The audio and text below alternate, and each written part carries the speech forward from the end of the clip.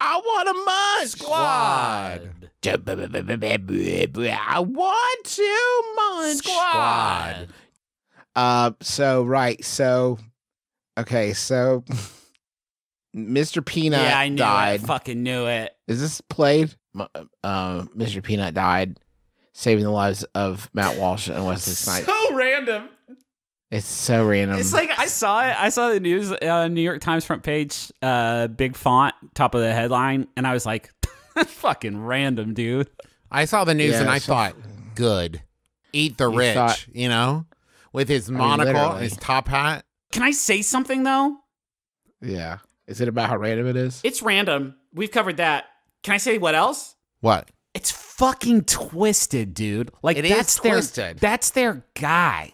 Like that's their whole guy, and he's been in all the commercials. And they're like, "What are we gonna do for the big game?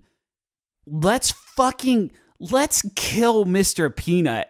The newly released pregame ad shows Mr. Peanut, Matt Walsh, and Wesley Snipes are on a nutty adventure in the Nutmobile, where Mr. Peanut is forced to swerve, causing the vehicle to spin out of control. Uh-huh. The trio jumps out of the Nutmobile, clinging onto a tree branch as the vehicle crashes down into a deep canyon below. They momentarily find safety until their combined weight begins to break the branch. In the ultimate act of friendship, Mr. Peanut lets go and sacrifices himself to save his friends from impending doom. Yeah, he does. So, and then it says you can watch the him die. In this video, you can watch him die, and they're going to show that in the pregame, and then the brand's official Super Bowl commercial will air in the third quarter of the game and broadcast Mr. Peanut's funeral. Oh, funny, funny. That's gonna be so fucking funny. funny. And then, but then, can we just? He is gonna smash out of the grave, right? I mean, he's got to smash out of the grave with a, a like a new look. Guys, I think he's really fucking dead. I think, I think he's fucking toast, dude.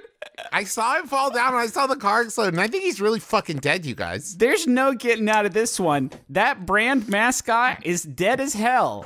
Can I just say though, I am really glad they were filming when the car crash happened.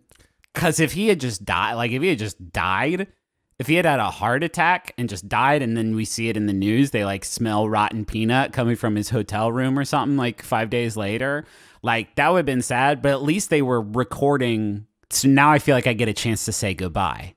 Mr. Peanut enthusiasts can show their family and friends how much the legume meant to them Finally. using hashtag RE Peanut. I feel like they're not taking this. They're not taking this All right, seriously. Peanut.